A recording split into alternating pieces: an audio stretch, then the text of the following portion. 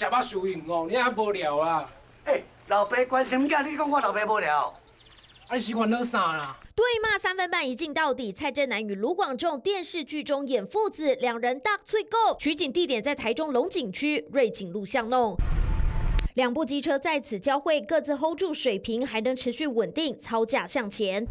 实际开入巷弄，对象民众得侧着身缩小腹才能交汇。万一两台大车同时开进来，只能看谁先快了，哪一项先快，然后谁要让这样子。啊像类似砂石车啊，还是水泥混凝混凝土那种水泥车。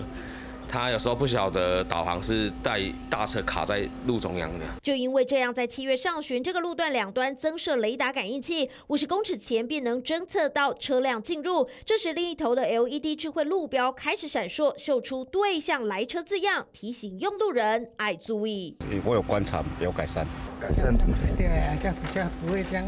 让来让去啊！测量这个路段路幅最狭窄处仅三公尺。警方统计，光上半年附近发生八起交通事故，有时民众会车卡巷进退两难，靠智慧路标提前预警。灵感来自地下停车场车道感应器，如法炮制运用在马路上。十字路口的红绿灯一组大概是四十到五十万左右，智慧路标二十到三十左右啦，但是它也要因应每个路口的状况不同。目前台中市共有五处已装设智慧路标，经费比红绿灯来的省，也让这条一百五十公尺长的蜿蜒巷弄不再上演如黑羊白羊过桥谁要让的尴尬情节。三立新闻杨静、晨一姐台中报道。